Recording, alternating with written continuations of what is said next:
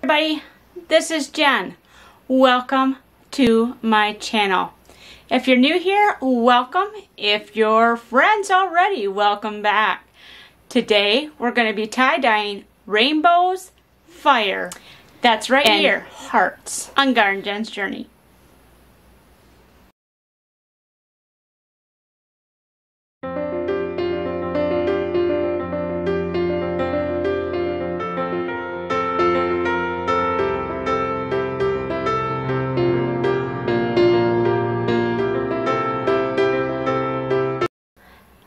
All right, so if you're new here, tie-dyeing is one of the ways that I earn income right here on the homestead. And I started doing a couple of videos just to show you guys what I do. Tie-dyeing is fun. Um, I really enjoy doing it. And my customers love it as well. So I'm going to take you out to the kitchen where I actually do my tie-dyes.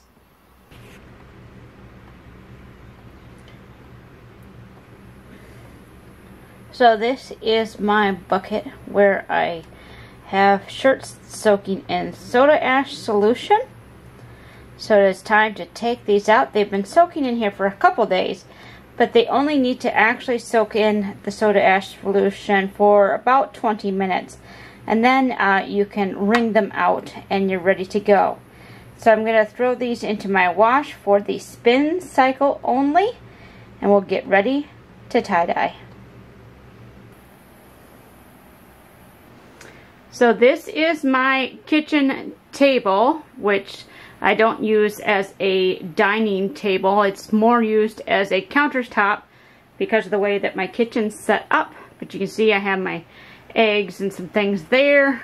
Um, but I have these large silicone mats that I use to cover my kitchen table because these are very easy to clean. And with tie-dye, you need something that's very easy to clean especially since you're working with white you want to make sure there's nothing on your surface that's going to stain your white fabric before you get to color it the colors you want.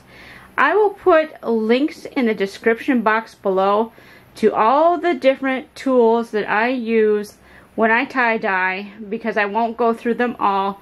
You can watch some of my other videos where I talk more in depth. Today, I'm just going to show you how I'm going to tie-dye these different shirts.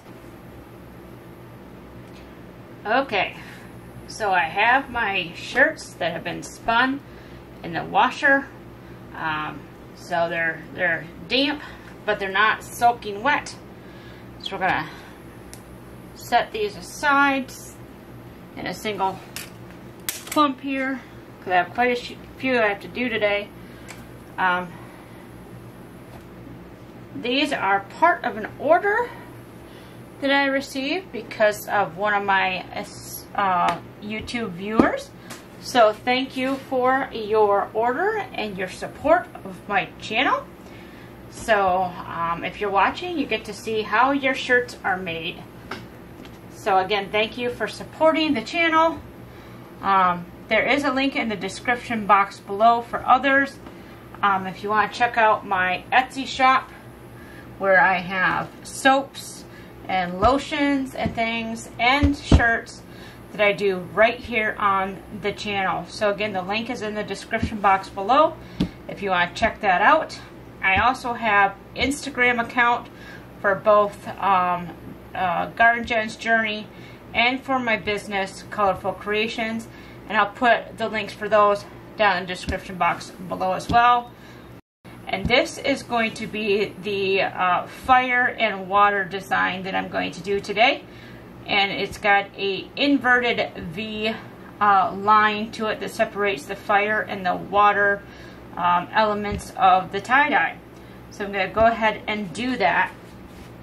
We're going to shirt, fold the shirt with it inside out. You always do tie-dyes inside out with uh, powdered dyes just in case the powder doesn't completely dissolve.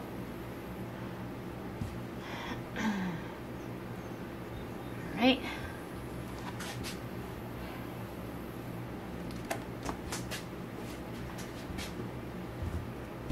Then we're going to find the center of the shirt and fold it in half with front sides together.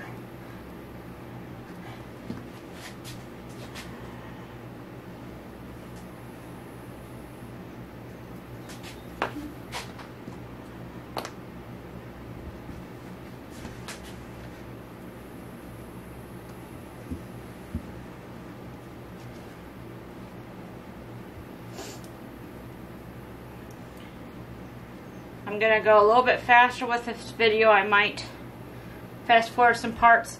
If you want to know more about why I do what I do or what I do, I do have some other videos. Um, I will put uh, a card up above for the other videos. And you can always ask me questions in the comments below. And I will try to answer them. Or if necessary, do a video on that specific question so everybody gets to see that answer.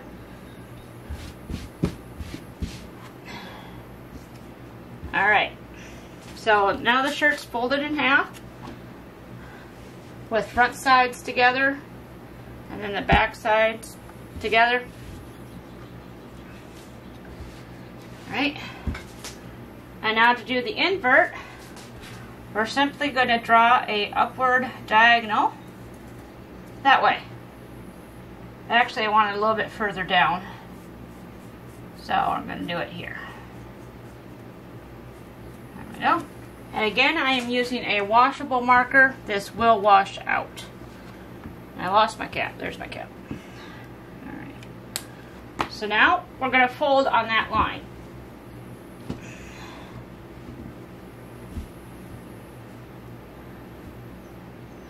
Just pinching and gathering the fabric along the line, making the line line up with itself.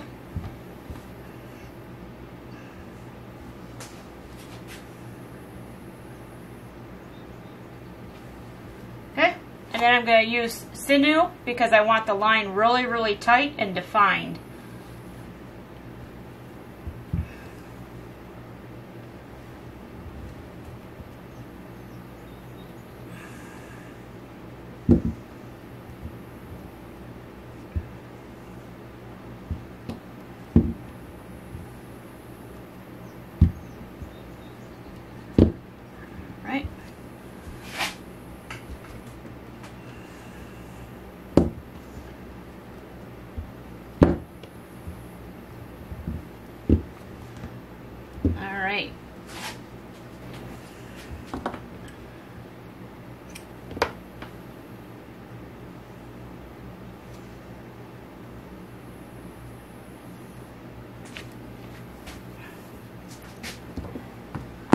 So the line is done. And this is the only line really on this shirt that I'm going to worry about.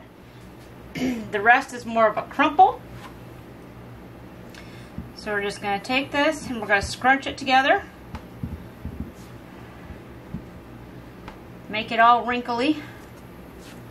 That's what gives a nice textured look to that.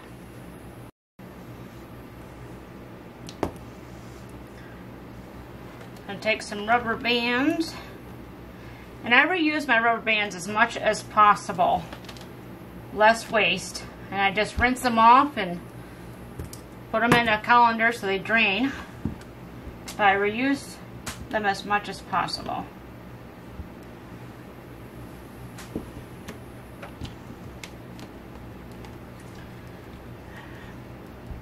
Alright, that side's nice and crumpled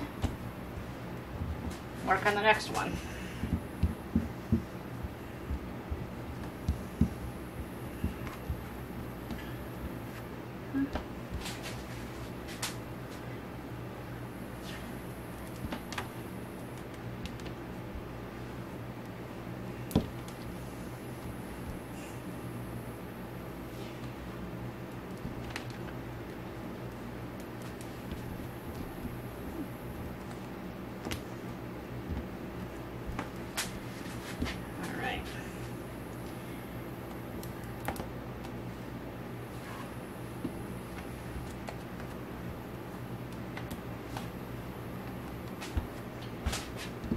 All right, so the fire and water is ready to go. I'm to set that over. I'm going to tie all my shirts first and then we'll bring out the dyes. That way I don't get dye all over here, have to clean it up to do the next shirt.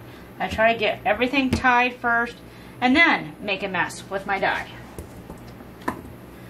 So the next one we're going to do is going to be the heart shape. And it's uh, really fun to do. It's really easy to do, um, technically speaking. But, uh, you know, things happen that sometimes they don't turn out quite right. So the same thing, we're going to find the center, we're going to fold this in half, and then we're going to make our marks. So I'm going to speed this part up and I'll show you how to mark this when we get to that point. Alright, the shirt is folded in half and we're ready to go. So with the heart design, or anything that is symmetrical that you want to put on a shirt, you only have to draw half of it because it's folded in half so it's automatically going to mirror. So we're just going to draw half of a heart. And that's a lot easier to do half of one than try to draw the whole thing and get it symmetrical. So there's our heart. I actually want to make it just a little bit fatter. There we go. That's a little bit better. Okay. And now we're going to fold this up just like we did for our inverted V.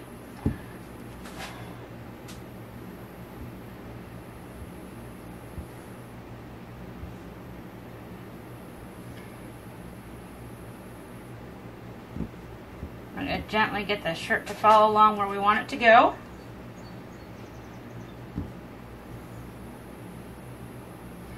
Just follow the curve. And as you fold it, it will turn out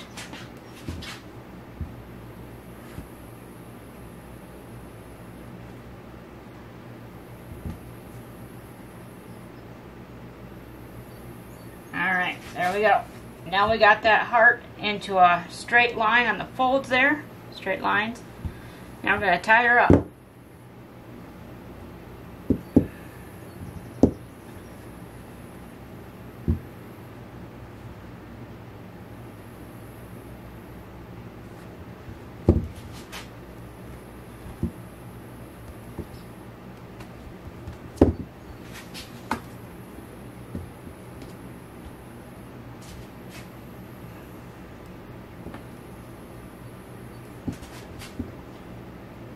All right, there we go.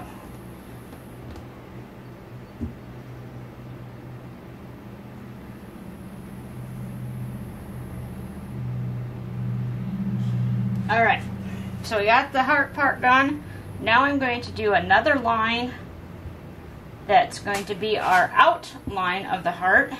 And that's, we're simply just gonna tie one more spot just a little bit beyond where the first tie is. That's a little too much. so We're going to move it down. There we go.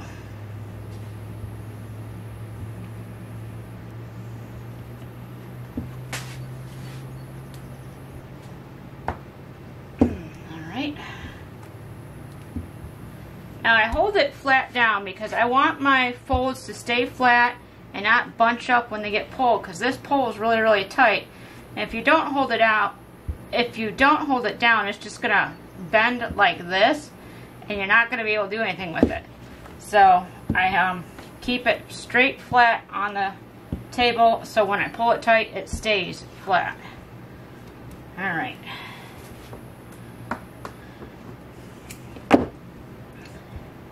and then after I get this tied in here we're going to scrunch this up just like we did the other one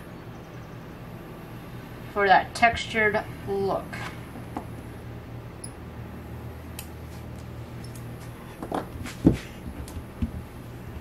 So I just unfold it and wrinkle it up.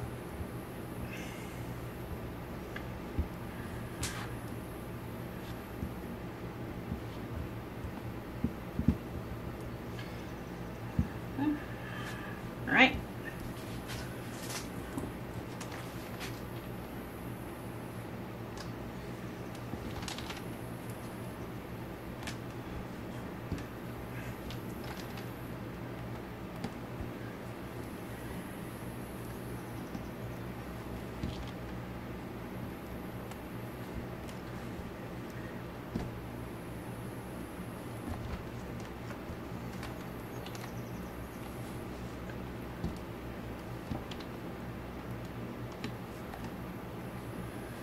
All right, so our heart one is done. Now on to the rainbow. Again, I'm going to fold this shirt in half. And I'll bring you back when we get ready to do the folding for the rainbow.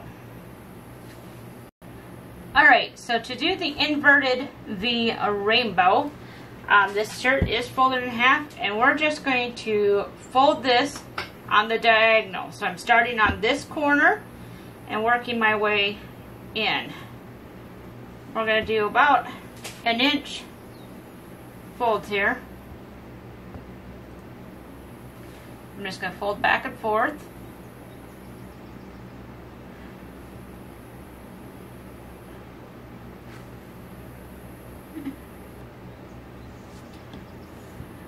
Gently get the shirt to start folding as we go upwards.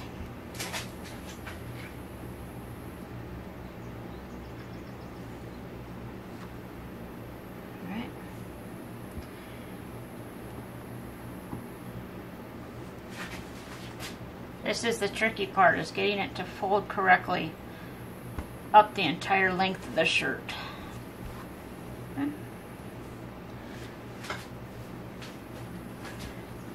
So on this one, I'm going to use rubber bands. And I want to start here where I finished folding all this material so it does not come undone.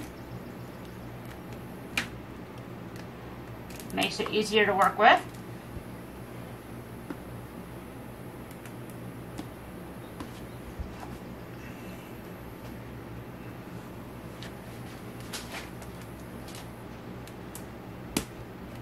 broke my rubber band. It happens because I said I reuse these a lot.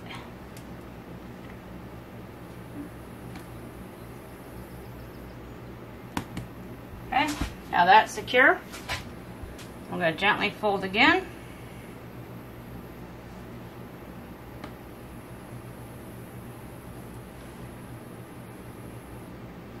The sleeve does not want to work with me today. There we go. Alright. So I'm going to continue folding this and tying it with these rubber bands.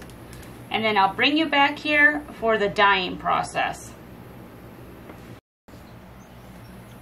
Alright, so the first shirt I'm going to tie-dye is going to be the fire and water design and that takes quite a few dyes so I'm going to uh, tell you what they are before we dye them. I'm going to be using Raven Black, Fire Red, this is Bright Red and it's from Grateful Dyes. The rest of these are from Dharma Trading Company and the link will be in the description box below. We got Brilliant Blue, Robin's Egg Blue, Sky Blue, Cobalt Blue, Orange Crush, and Lemon Yellow. I am wearing gloves today because we're going to be working with a lot of different dyes and I don't want to get uh, the different dyes on the other shirts as I work with them. So we're going to start off doing the fire portion first, but actually we're going to do the dividing line first, so that's marked, and that will be with the Raven Black.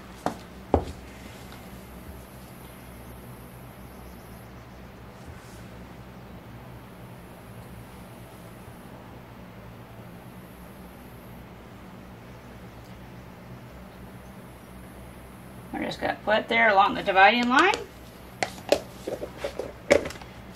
And then I'm going to go ahead and do the fire and the water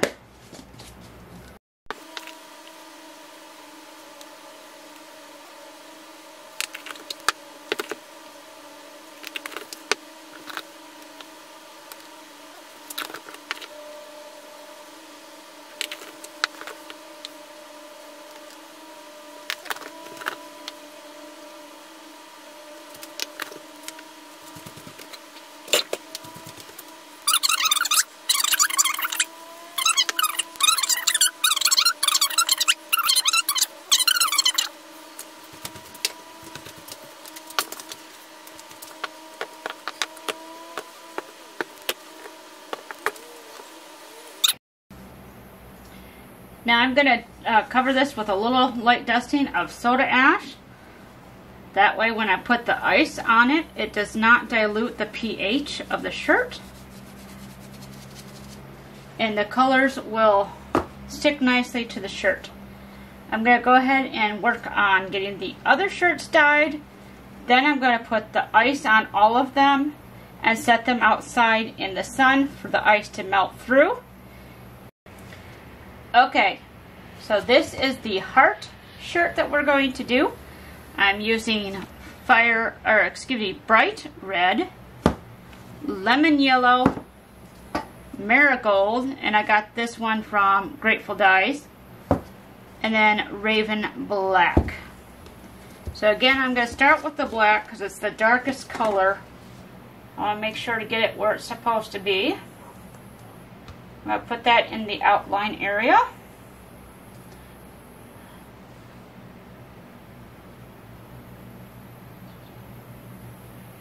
A little bit more.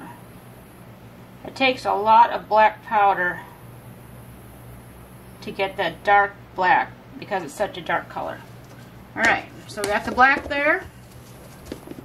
Now we're going to put the red on the heart.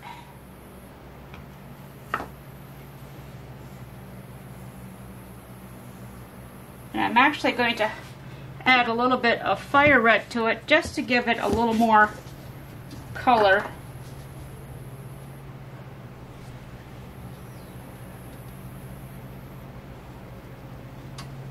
There we go.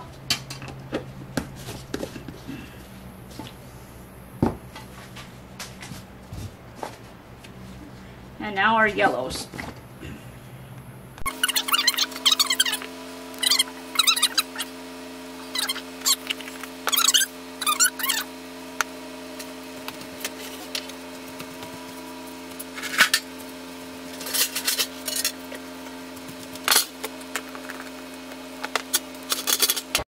I'm also going to use citrus yellow. It's a beautiful light yellow. So it helps soften the colors just a little bit. Because the yellow and red can be quite bright. Tone that down just a little. Alright. So again, we're putting on soda ash and setting this aside and getting the other one going. Alright, so I have the rainbow shirt all spiraled up in here and, and put in my little silicone ring. And again, the links to what I use are in the description box below. So I'm doing the seven color traditional rainbow. And the colors for that rainbow are red, orange, yellow, green, blue, indigo, and violet. That's the actual name of the colors in the rainbow. So to get those rainbow colors with the tie-dye colors, I'm going to be using Fire Red, Orange Crush, Lemon Yellow, this is Emerald Green from Grateful Dyes. You can also get it from Dharma. Sky Blue, Cobalt Blue, and Deep Purple. So now I'm going to add the dyes.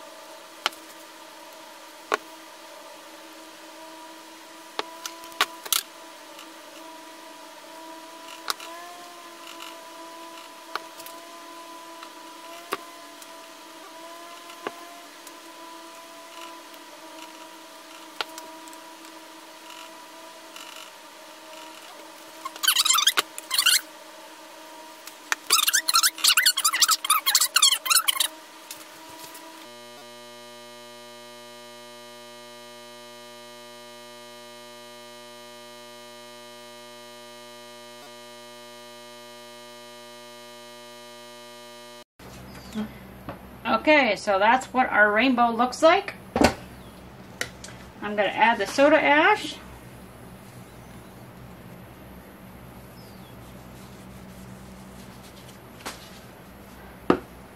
Now I'm going to put ice on them and set them outside.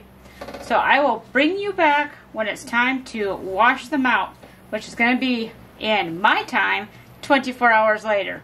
In your time, just a few seconds. Alright, so we're back to start rinsing out these shirts. Um, I'm going to start rinsing them in cold water and then I'll untie them and turn start turning the water up to rinse it in hot hotter water. And then eventually I'm going to be soaking them in some hot soapy water in some tubs to try to release some extra dye before they go in the wash. Blues and reds have a lot of extra dye because they're very concentrated. So uh, these take a bit to wash out. But I'm just going to show you some of the wash out and then I'll bring you back here to show you what they look like once they are washed and dried.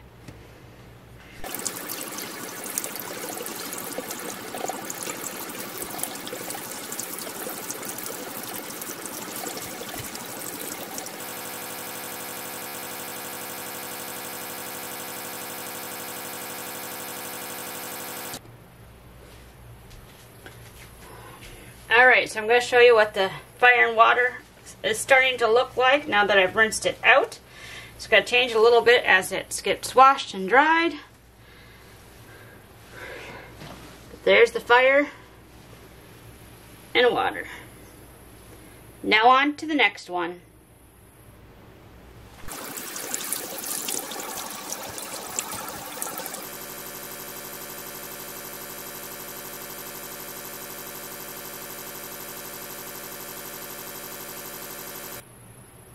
Alright, so here's the heart design on the crumpled background.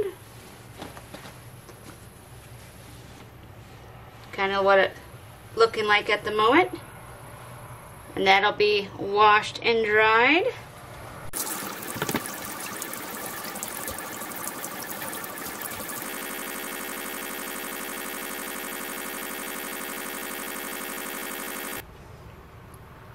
Alright, so here is what the rainbow design is starting to look like.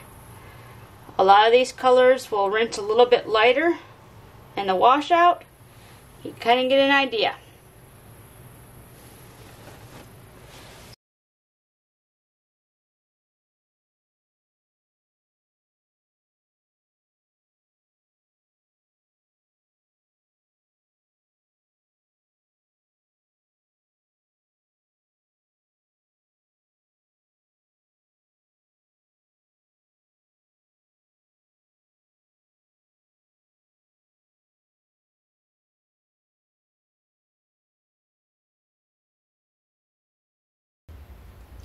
So I hope that you really enjoyed this video on seeing how I do some other tie-dyes. If you enjoy seeing these types of videos, make sure to hit the like button and comment down below. If there's a specific design you would like me to try to do that maybe I've never done before, comment below. I'd love to hear your thoughts and expand my artistic abilities, so to speak. Thank you for being with me today. And I'd love to have you along on the journey if you aren't already. So make sure to click the subscribe button as well. Thank you so much. And I hope that wherever you are, you are wonderfully blessed. So until next time, everybody, bye-bye.